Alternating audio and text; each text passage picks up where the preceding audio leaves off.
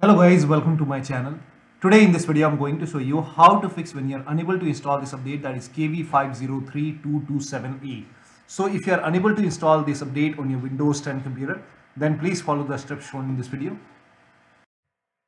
Now the first step is to run update troubleshooter. For this open Windows 10 settings and then go to update and security. Now click on troubleshoot. Now click on additional troubleshooters over here you can see Windows Update, click on it and then click on Run the Troubleshooter. Once the troubleshoot is, troubleshoot is complete, now restart your computer. Make sure that you restart your computer after this and after the system restart, update your Windows 10 once again. Still you are unable to update, then the next step is to use Windows 10 Update Assistant. For this, copy this link. The link is provided in the video description. Open this link in a browser. It will take you to Microsoft website. Over here you can see Windows 10 Update Assistant. Click on Update now now this will download the exe file, run the exe file.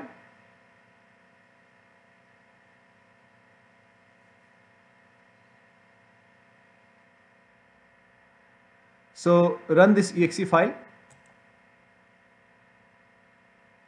Click on yes to allow. Now this will load Windows 10 Update Assistant. If there is any pending update, it will let you know. So it will check for update and if there is any update, you can click on accept and install and after the installation restart your computer and your Windows 10 should be up to date. Still you are unable to update in that case you can reset Windows update components. For this copy all these commands these commands are provided in the video description. So copy the command till here and open notepad on your computer. So type in notepad in Windows search box and then open notepad paste all the command over here now go to file, then click on save as. You can set the location at desktop and then name this file as wufix.bat and for save as type select all files. Now click on save. Now go to desktop, make a right click on wufix.bat file, make a right click and then click on run as administrator. Make sure that you are opening this file as an administrator. Click on yes to allow now this will open command prompt. First of all, it will stop all the Windows Update services and then it will run a couple of scans. Now the scan will take some time. So let the scan complete. There are a couple of scans. So the scan will take time. And once the scans are complete, it will restart all the Windows Update services. And once the restart is complete, again restart your computer and after the system restart, update your Windows 10 once again. Now the next step is to still you are un unable to update. In that case, use media creation tool. This is the last step. So you can again go to this website.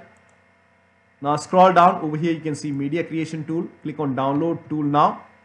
And once the download is complete, run this exe file. And then you will see this screen. So click on accept. And by default, upgrade this PC now would be selected.